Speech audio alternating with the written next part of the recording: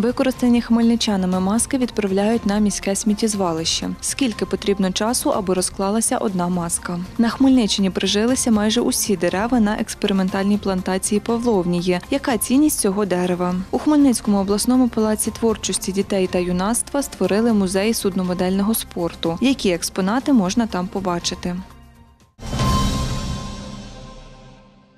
На Хмельниччині станом на цю годину зафіксовано один новий випадок захворювання на COVID-19 у місті Кам'янець-Подільський та чотири особи одужало. Про це Суспільному розповіла директорка департаменту інформаційної діяльності Інна Михайлова із посиланням на інформацію обласного штабу з ліквідації надзвичайної ситуації. Всього в області від початку пандемії зафіксовано 994 підтверджених випадки COVID-19. Одужало 841 особа та зафіксовано 23 летальних випадки. Найбільше випадків зареєстровано у Дунаєвецькому районі 196, у місті Кам'янець-Подільський 152, у Старокостянтинівському районі 139 випадків. Спалах захворювання на COVID-19 не фіксували у Віньковецькому та Новоушицькому районах.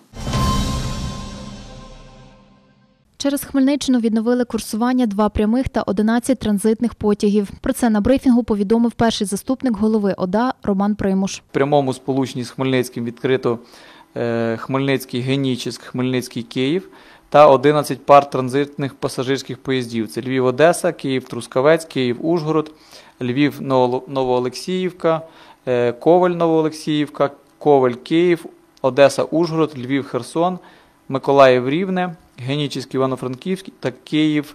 е, Львів. Також запущено роботу з 17 числа щоденного потяга Київ-Кам'янець-Подільський. На наступному етапі, якщо епідситуація буде дозволяти, Хмельниччина перейде до повноцінного відновлення функціонування по всіх напрямках потягів за таким графіком, у якому вони працювали до карантину, додає Роман Примуш. На Хмельницькому сміттєзвалищі серед твердих побутових відходів видніються рукавички та захисні маски. Керівник проєкту Розумне довкілля Хмельницький комунального підприємства Спецкомунтранс Микола Ваврищук розповідає, зараз їх на полігоні менше, ніж було на початку карантину, проте побільшало пластику. За його словами, на початку пандемії зафіксували зменшення кількості пластику та збільшення кількості масок на полігоні твердих побутових відходів. Маска є небезпечна з точки зору саме відходів, тому що маска буде теж десятками років е, розкладатися на полігоні твердих відходів.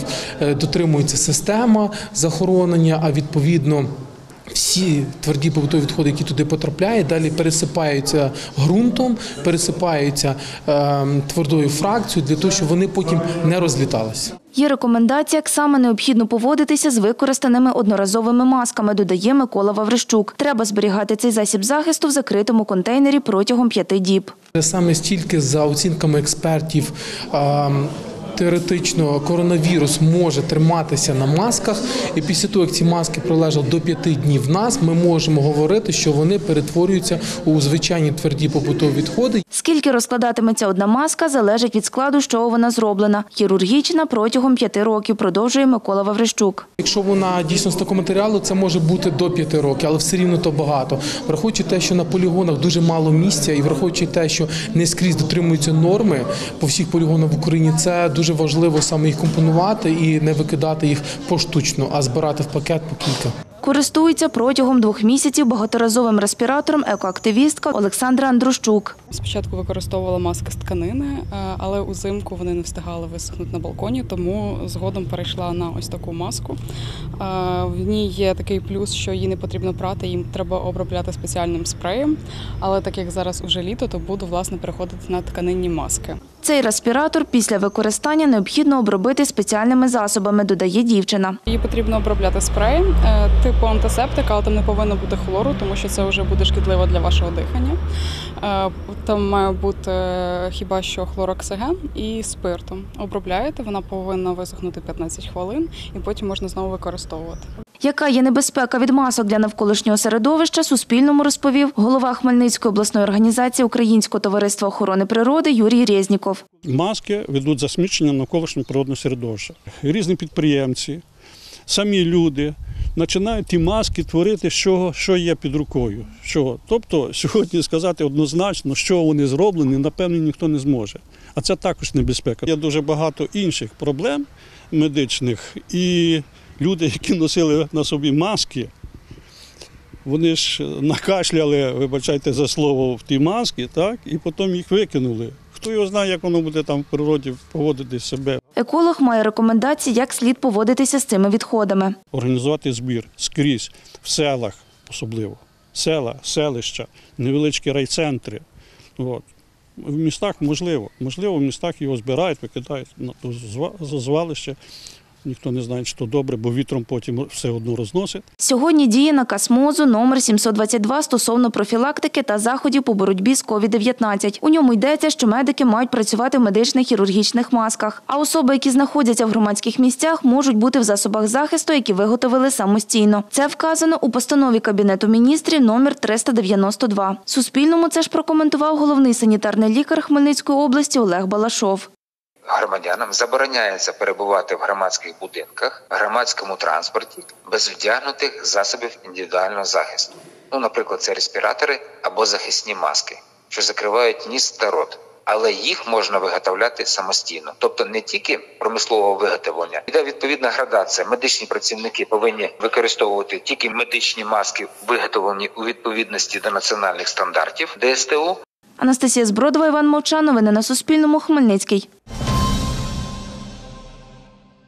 З 300 саджанців дерева павловні, висаджених у Сковородецькому лісництві на Старокостянтинівщині, прижилося 290. Про це розповів провідний інженер лісових культур державного підприємства Старокостянтинівське лісове господарство Олег Куліш. За його словами, першу плантацію дерев, які за 5 років можуть досягнути 20-метрової висоти, висадили на Хмельниччині минулого року. Купили саджанці в Івано-Франківському лісництві по 34 гривні за штуку, каже Олег Куліш. Купили дешево, бо ціни були і по 120 гривень за саджанець, додає спеціаліст.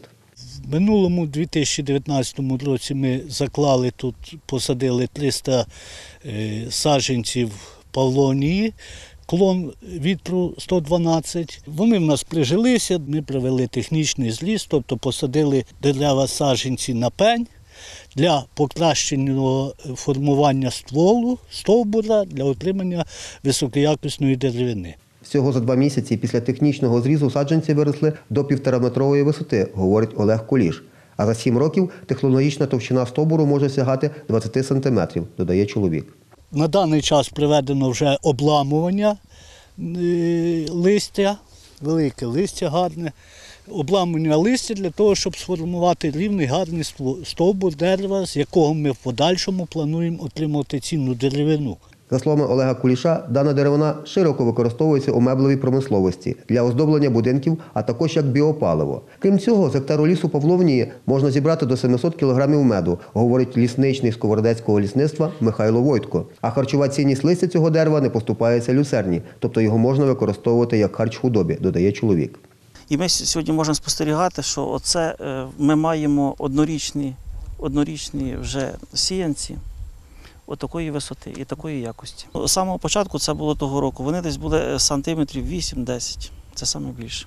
Оскільки щодня павлонія може вирости від 2 до 2,5 см, а її ріст щонайменше буде до вересня місяця, то до кінця свого річного вегетативного приросту дерева виростуть ще на один метр, каже Михайло Войтко. Михайло Жила, Іван Мовчан. Новини на Суспільному. Хмельниччина. Гуртки Хмельницького обласного палацу творчості дітей та юнацтва планують відновити роботу 15 вересня. І доти керівник судномодельного гуртка, майстер спорту міжнародного класу Юрій Гаркавенко впорядковує кімнату, в якій створив музей судномодельного спорту. Тут на стелажах близько двох тисяч копій суден різних модифікацій та часів, підводних човнів, морська авіація, військова техніка, яка знаходилася на суднах, решта в коробках. Більшість моделей створив особисто Юрій Гаркавенко для виступів у національних та міжнародних змаганнях. Із кількома десятками, каже, здобував нагороди. Над копією американського парусника Constitution судномоделіст працював майже рік. Парусник, у якому зараз громадський музей, завдовжки 80 метрів. Він оснащений додатковими парусами для пришвидшення ходу, бо 150 років тому вів боротьбу з контрабандистами. Його копія виконана в масштабі 1 до 100. Із нею Юрій Гаркавенко став срібним призером чемпіонату Європи в Гданську у 2003 році. А зі стендовою моделлю найбільшого корабля Другої світової війни японського лінійного крейсера Ямато хмельничанин здобув срібну медаль чемпіонату світу. Каже, його захопила конструкція судна та його історія. В кінці війни пішли е, на останній бій. Американські літаки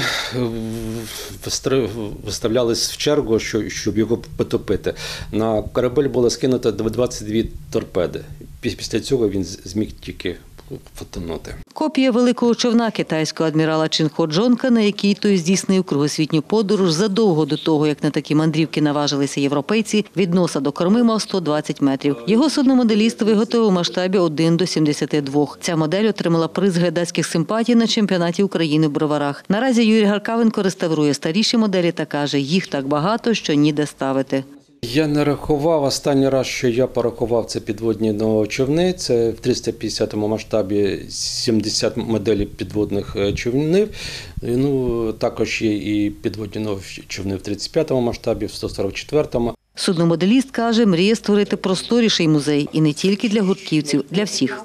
Для всіх від самих маленьких до самих невеликих дійсно є, щоб подивитися. Є всі моделі від, від перших до мрії, ну до сучасних, до ну, судна, танки, ну все є. Але нема де поставити. В Вінниці є вже аналогічний музей, вже зроблений. Е, Музей внесений в книгу рекордів Гіннеса е, з кількістю моделей 3 тисячі. 3 тисячі. Ми можемо до 5 тисяч. Кожного року судномоделіст бере участь у національних та міжнародних змаганнях і зі стендовими, і з ходовими копіями суден і підводних човнів. І ще жодного року не повертався Хмельницький без нагород. Цього року всі змагання відмінили. На жаль, в цьому році в тих змаганнях, що я беру участь, е, не, не було жодного. Від, відмінили як по Україні, по Європі, по світу. Може бути, якщо нас спустять на вересень, це в Польщу. Ну, якщо ні, то на жаль, цей рік буде для, ну, для мене не спортивний. Світлана Поробок, Віктор Кривий. Новини на Суспільному. Хмельницький.